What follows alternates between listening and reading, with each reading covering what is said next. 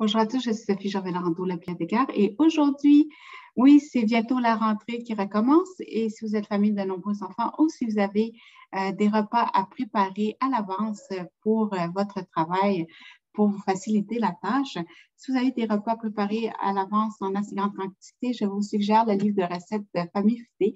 Ils ont quatre tomes à leur actif et c'est toujours très bien fait, très bien présenté. Et il y a des belles suggestions pour tous les goûts, pour toute la famille. Alors, euh, avec ça, vous ne serez pas en peine et il donne vraiment des trucs intéressants pour euh, la gestion des repas. Alors, sur ce, je vous dis merci de commenter cet épisode, merci de le partager à votre réseau de vous abonner à ma chaîne. J'ai hâte de vous faire des lives euh, sur ma chaîne YouTube. c'est la chaîne La Bibliothécaire. Alors, n'hésitez pas à vous abonner. Vous allez me trouver facilement. Et euh, si vous retrouvez cette, euh, cette émission à partir de Facebook, n'hésitez pas à cliquer sur l'épisode et à aller vous abonner à ma chaîne. Merci. Bonne journée tout le monde. Bye.